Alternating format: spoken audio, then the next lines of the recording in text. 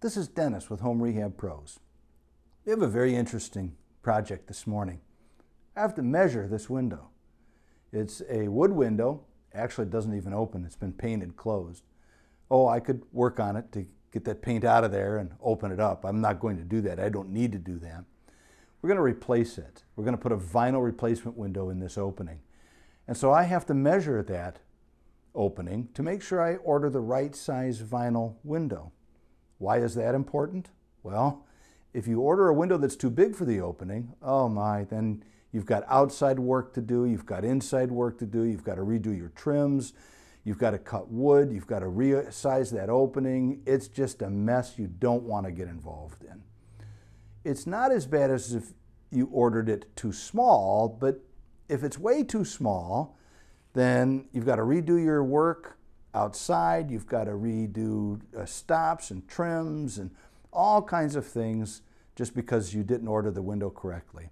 So, what is the key to ordering the right size window? Well, measuring it properly is important.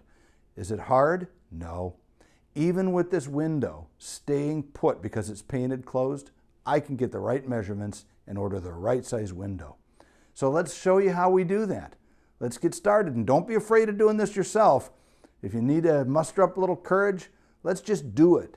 And let's make sure that we do it right. Measure twice, order once. So let me show you what we do. First, let's understand the components of this window. We have a casing. It goes three ways around, both sides and the top.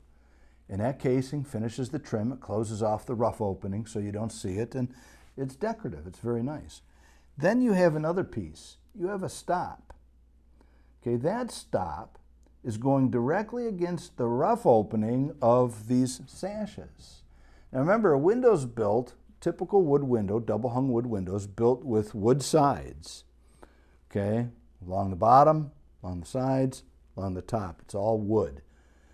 And so we're going to keep that there. We're just going to take these sashes out and we're going to take a little bit of the woodwork in between out. We're going to take the spring the springs out, and we're just going to have this rough opening there. So this stop is directly connected to that wood rough opening. That's what we're going to call it. And or the wood jambs that are there for the for the sash to be uh, built into. So from this point to the other side gives us the measurement of that rough opening. Now let me show you what I'm talking about. So here's a closer look. Obviously, here's your casing. Your casing is from here to out here. It's one piece, goes all the way up and down. And here's your stop. Now this stop is only about 3 eighths of an inch thick. That's all it is. Okay, and you see where it meets your, your trim, your casing. Well, this is, this is the point right here that I want to start my measurement. And on the other side, it has the same thing. Okay, see, here's your casing. Here's your stop. Okay, and right where they meet, right there is where I want my measurement. So I'm going to take that three times at the top and at the bottom, and I'll show you how we're going to do this.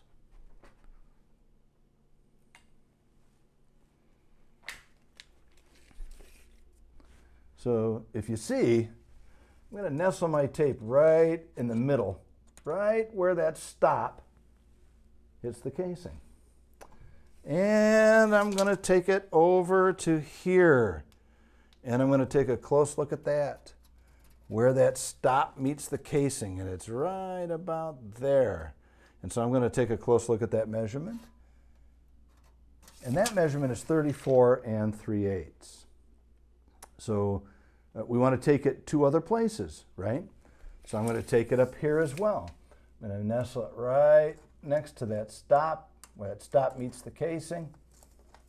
And I'm going to measure it over to here. Now, interestingly enough, that said 34 and a quarter. So we'll talk about what that means in a couple minutes. Now let's look at the height of the window. I've measured the width. Now let's take a look at the height. Okay, so one of the challenges in measuring a window is the height of the window. Now, because this window won't open, I can't get right into that rough opening, uh, the sill, so to speak, and measure it all the way to the top. And here's the trim sill.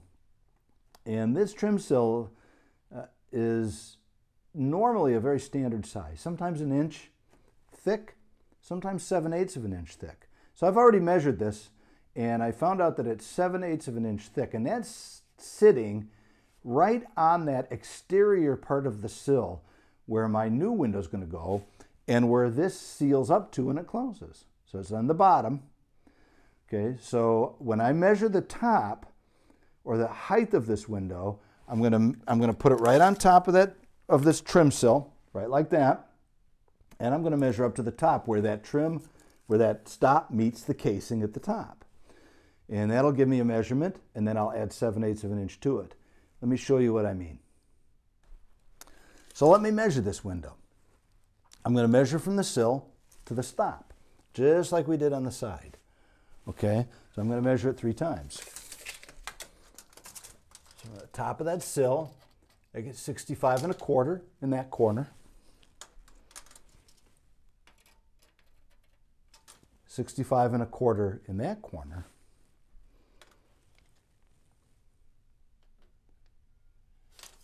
But I get 65 and an eighth in the middle.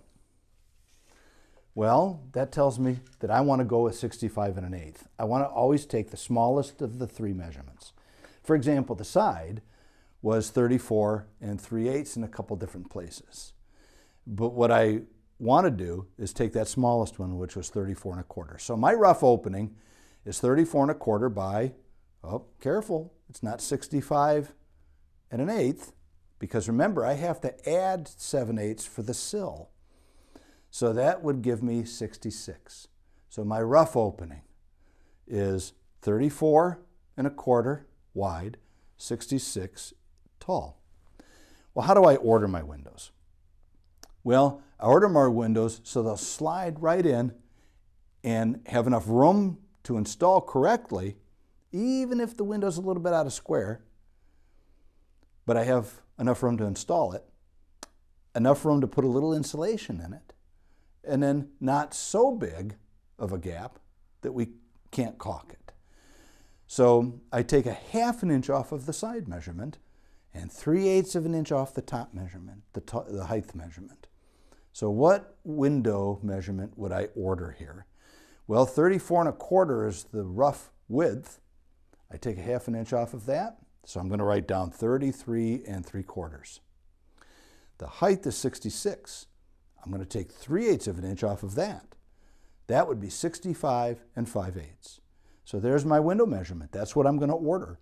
I'm going to order a 33 and 3 quarter inch by 65 and 5 inch window. So there you go. That's how you measure your windows. Measure twice, measure three or four times. Make sure your math is correct. When you go into uh, your box store or if you have a window supplier and you're just going to try to do this yourself, and believe me, they're not that hard to install. Don't, don't panic. Don't be too afraid to do it. Muster up the courage, and you can learn how to do this yourself. And there's plenty of videos, uh, other very qualified people that uh, show how to replace a window, and we'll have videos like that too in the future. So this is Dennis with Home Rehab Pros. Thank you so much for watching. Our viewers are so important to us. We appreciate all the time you give us as our viewers. And if you really liked it, please don't, don't forget to smash that like button or boop it or hit it or touch it or tap it, however you feel like you want to do that. That like button tells us that you enjoyed the content of this video. Also, if you're not subscribed, think about doing that too because we're committed to putting out a series of videos that can help every homeowner do their projects as efficiently and as budget minded as possible. So, again, thank you for watching, and we'll see you in the next video.